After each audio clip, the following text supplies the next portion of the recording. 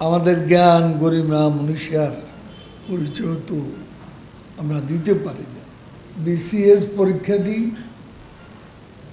রিটেনেই আমরা টিকতে পারি না। রিটেন পাশ করলে আবার ভাইভাতে গিয়ে আউট আমাদের প্রধানমন্ত্রী মাঝে মাঝে খুবই কষ্ট পান। তাকে বাধ্য হয়েই অনেক সময় ভিন্ন মতের সহকর্মীদের সঙ্গে কাজ করতে। এটা তিনি প্রকাশও করেন। আমাদের ছেলেমেয়েরা কেন বিসিএস দেন না, পরীক্ষা অংশ নেন না, পড়াশোনা কেন করেন না? এসব প্রশ্নগুলো তিনি প্রায় করেন। এবং কোনো ভালো ছেলে মেয়ে ভালো রেজাল্ট করেছে, এমন পেলে তিনি সঙ্গে সঙ্গে বলেন, বিসিএস পরীক্ষা। সজীব ওয়াজের জয় নীরবে, নিঃশব্দে বাংলাদেশে আইসিটিতে একটা নীরব অভ্যুত্থান করে চলছে। অথচ তিনি আসেন নীরবে, চলে যান নিঃশব্দে।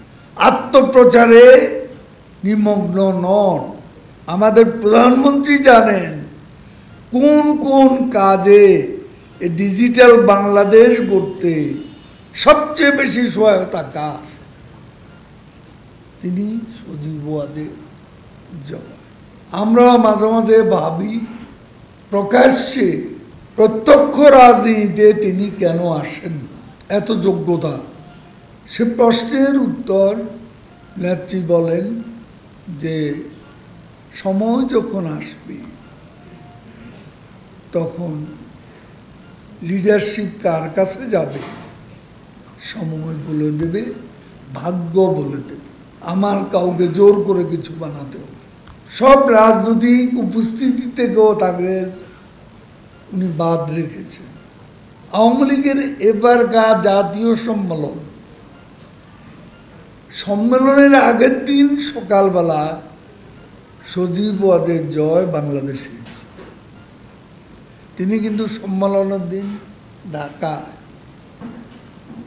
আমরা দাওয়াতও দিয়েছি। নেত্রীকে অনুরোধ করেছি।